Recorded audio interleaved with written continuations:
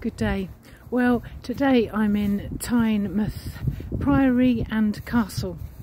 I know it's a bit windy today, but on this spot there is a castle, there is a priory.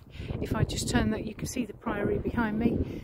Um, there's also evidence of even just a hundred years ago of, of, the war, how this, this this particular part of the coastland was a very strategic point to protect the land It made me realise that a lot of things have housed this spot. We go back to the ancient, ancient life of the monastic life and what that teaches us. Then we only look to a hundred years ago, you know, and how we as people need to really develop our lives to maybe create peace.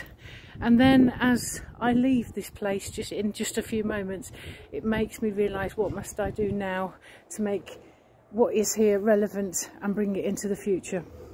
Well, there's lots of things I would say just have an open heart, just respect people, love people, try and help people. You know, what, what must I do to my neighbour? Uh, and that is the only way that maybe buildings change and over the years they become relics and ruins. But, you know, in my life, what do I do? To just make people think and to take values forward so people live a good and honest life of integrity. Uh, that's just my thought for today, and um, I share that with you. So